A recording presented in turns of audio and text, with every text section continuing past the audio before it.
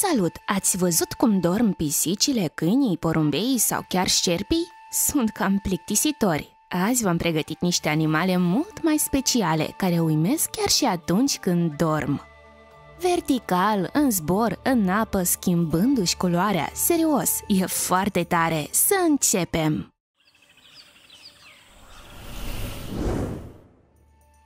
Caracatițele Până când știința nu știe dacă acestea pot avea vise, dar din oarecare motiv cu corpul caracatiței în timpul somnului se întâmplă chestii ciudate.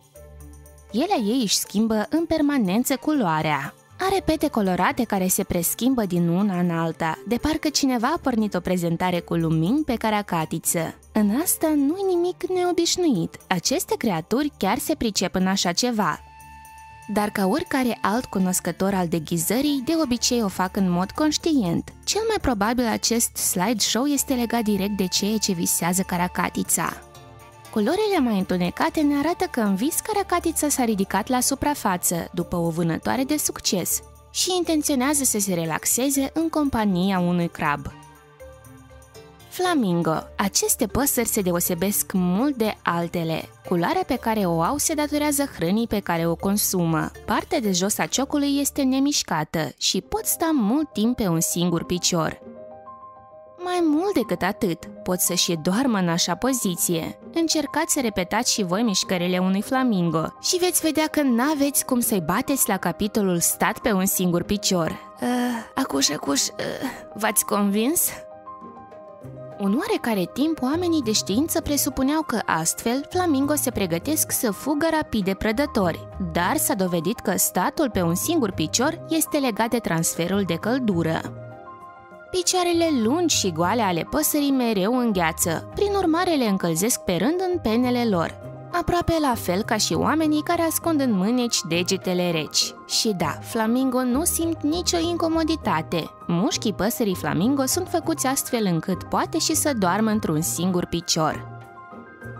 Bufnițele. Acestea sunt niște creaturi destul de stranii, un pic extraterestre, un pic înfricoșătoare, dar în același timp amuzante. Da, foarte amuzante. Doar cât fac picioarele lor care seamănă cu picioarele bunicului în nădragi. Dar asta nu este unica caracteristică. Puii de bufniță adoră să doarmă pe burtă. Habar n-avem de ce, dar chiar iubesc să adoarmă ca niște copii foarte obosiți. Unde cad acolo e și patul și nu este unicul caz. Când bufnițele tinere dorm pe ramură, se apucă de ea cu ghearele foarte strâns ca să nu cadă, apoi se întind pe burtă. Puneți un like dacă și vouă vă place să dormiți pe burtă, pe o ramură din copac. Vidrele de mare Deja v-ați topit de la puii de bufniță? Vă propun să vă uitați la vidrele de mare. Ele sunt campioane la capitolul drăgălășenie. Se consideră că vidrele de mare au cea mai groasă blană și aceasta le permite să doarmă pe spate pe apă. Ca să nu le ia curentul undeva departe, acestea se învelesc cu alge marine, folosindu-le ca ancore. Uneori, astfel dorm grupuri întregi de animale, adică sute de animăluțe pufoase se leagănă pe valuri. Dar asta nu e limita ei. Nu, nu. Uneori putem observa cum vidrele de mare se țin una de alta cu lăbuțele, ca să nu le ducă curentul. Fregatele. Când oamenii nu pot explica ceva, aceștia conectează fantezia. Astfel au apărut o mulțime de mituri, inclusiv mitul despre fregate și albatroși. Mulți sunt siguri că aceste păsări mănâncă, dorm și procrează chiar în zbor. Unicul motiv de a ateriza este nevoia de a depune ouă. În realitate totul este un pic diferit. Fregatele chiar sunt capabile să zboare distanțe lungi, fără să aterizeze. Această abilitate este foarte importantă pentru a putea supraviețui în timpul zborurilor lungi peste mare. Acestea nu pot înota, astfel orice aterizare este egală cu moartea. Astfel au fost nevoite să dezvolte rezistența și să rămână în zbor cât mai mult timp. Deși acest fapt nu demonstrează că ele dorm în timpul zborului, poate nu dorm deloc. Oamenii de știință au prins câteva exemplare, au aplicat pe ele niște senzori speciali și le-au eliberat. S-a dovedit că fregatele chiar dorm în timpul somnului. Dorm foarte puțin, câte 45 de minute pe zi, în perioade scurte de timp, a câte 10 secunde. De obicei, noaptea. Dar nu vă faceți griji. Odată ce ajung la sol, fregatele dorm bine pe uscat. 12 ore în fiecare zi. Balenele, mamiferele marine, sunt în general fascinante, mai ales când este vorba despre o balenă uriașă. V-ați gândit vreodată cum dorm balenele? Oamenii de știință și-au rupt capul pe tema asta mult timp. Ele au nevoie regular să se ridice la suprafață după aer, mai ales că în somn pot deveni o pradă ușoară pentru prădători. Căci știți bine, balenele nu își fac vizuine în care să se ascundă, căci de altfel ar fi a naibii de mari. În orice caz, ceva timp, cercetătorii presupuneau că mamiferele marine nu dorm deloc sau că dorm foarte puțin, până când n-au găsit un răspuns. Unele balene pot dormi pe rând, cu jumătate de emisferă, apoi cu cealaltă, dar asta o fac doar speciile mai mici. Speciile mai mari își permit să adoarmă complet. Ele plutesc în poziție verticală și aproape că nu răspund la stimulii externi. Cantitatea sporită de grăsime subcutanată permite balenelor să rămână nemișcate și le fixează de suprafață. Undeva 10-15 minute balenele sunt într-un somn profund, apoi ies la suprafață după o gură de aer proaspăt, apoi din nou se scufundă pentru următoarea porție de somn. Urangutanii. Aceștia seamănă în multe cu oamenii. Desigur că sunt păroși, nu prea atrăgători și zgomotoși, dar să fim de acord că aveți așa niște cunoștințe și printre oameni, nu?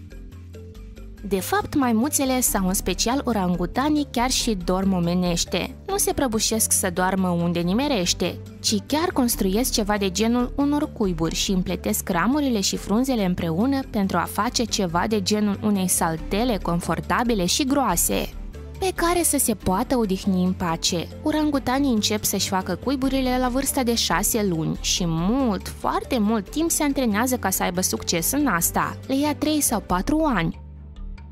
Dacă vă pare mult, vă amintim că merge vorba despre un animal sălbatic care nu prea înțelege ce face. Oamenii de știință argumentează de ce maimuțele fac asemenea saltele. Unii spuneau că pentru a cădea în siguranță de pe copacii înalți în timpul somnului. Alți cercetători sunt siguri că treaba e inversă. Urangutanii fac saltele pentru că pot. Foarte omenește. Girafele V-a apărut vreodată că girafa e un amestec de cal și lebădă și un ghepard și capră? Pe scurt, un animal foarte straniu, aproape atât de straniu ca și ornitorincul. Dar și mai ciudat e modul în care se odihnește. Dintre toate mamiferele au cea mai mică nevoie de somn, de la 10 minute la 2 ore pe zi, fără nicio cană de cafea. De regulă, girafele dorm în picioare, uneori își pun capul între ramuri, ca sprijin, Noaptea se întind ca toate animalele normale, dar își îndoaie gâtul astfel încât să poată pune capul pe partea de jos a membrelor din spate sau undeva pe alături. Apropo, adorm foarte rapid, în 10-15 secunde. Este uimitor cum de nu-și rup ceva în acest timp. Dacă vă gândiți acum că vreți să repetați poziția girafei, mai bine nu trebuie. Se spune că mult timp cercetătorii nu puteau să prindă aceste animale dormind. Doar în 1917 somnul girafei a fost documentat oficial cu ajutorul fotografiilor.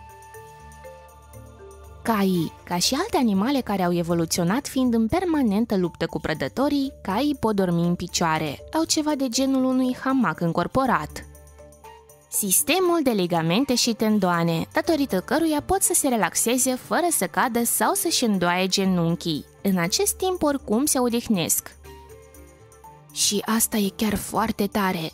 În sălbăticie, asta ajuta strămoșii cailor moderni să fugă imediat când simțeau sau vedeau că se apropie prădătorul, fără să piardă timp să se mai ridice de la pământ. Dar chiar și acum, caii subconștient sunt gata să fugă. Deseori dorm cu capul spre ieșire, deși știu cu siguranță că pe alături nu există niciun tigru cu colți ascuțiți. Toate astea nu înseamnă că caii nu au voie să se culce. Se pare că doar așa pot să cadă într-un somn profund și să adoarmă într-adevăr. Majoritatea veterinarilor cred că caii pot dormi în picioare câteva zile la rând, apoi au nevoie de un somn adevărat de cel puțin 2-3 ore pe zi. V-am spus că invidiez, da? Chiar îi invidiez. Imaginați-vă că voi puteți face asta. Ok, am văzut cum dorm animalele. E timpul să ne uităm în capul lor. Nu chiar literalmente.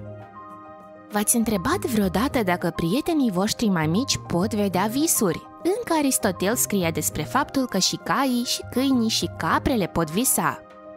Avea niște dovezi foarte puternice. Câinii latră în timpul somnului, iar dacă latră înseamnă că visează ceva. Și știți că se pare că filozoful grec chiar a avut dreptate. Oamenii nu s-au învățat să vorbească cu animalele, dar știința a evoluat considerabil. Să afli adevărul despre vise poți și fără întrebări. Unul dintre moduri este să observi comportamentul animalelor în diferite faze ale somnului. Altul este să analizezi creierul când doarme și să compari cu creierul uman. Când oamenii de știință au făcut asta, au fost uimiți. S-a dovedit că nu doar câinii pot vedea vise, ci și șobolanii și păsările. De exemplu, șobolanii care ziua alergau prin labirinturi visau noaptea labirinturi. Unele păsări cântă în vis. Dar la unele întrebări, oamenii de știință totuși nu au răspunsuri. Realizează oare animalele când dorm și când sunt treze? Își țin minte visele și ce văd de fapt când dorm? Dacă vă apucați să studiați tema asta, nu uitați să ne scrieți și nouă în comentarii ce ați aflat.